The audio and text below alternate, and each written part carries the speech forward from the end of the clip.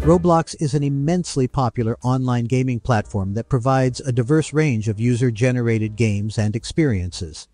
However, many players encounter a frustrating issue where Roblox keeps freezing on their PCs, disrupting their gameplay and overall experience.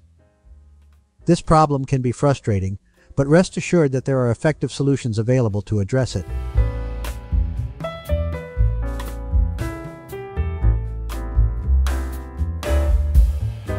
By the way, please like and share our videos to help those who has the same issue so that we can help them too. Once you're done, let's begin. Solution 1. Check system requirements. Make sure your computer has the specs needed to run Roblox smoothly.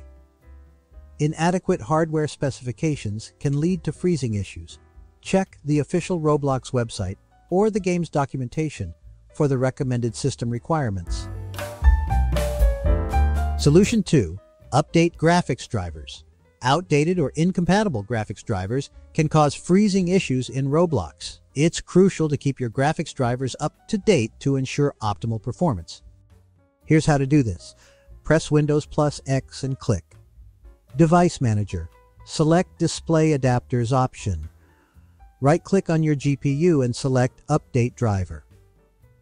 Choose the option to automatically search for updated drivers. Install the newest driver updates. Solution 3. Clear Roblox Cache. The accumulation of cached data can sometimes lead to freezing problems in Roblox. Clearing the cache can help resolve this issue. Use the Windows key plus R on your keyboard, type percent local app data, percents Roblox C in the Run dialog box, and press Enter.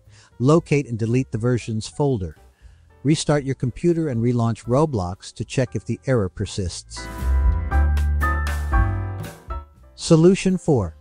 Disable Compatibility Mode. Enabling compatibility mode for older versions of Windows can interfere with the smooth functioning of Roblox, leading to freezing problems. Disabling compatibility mode can help resolve this issue.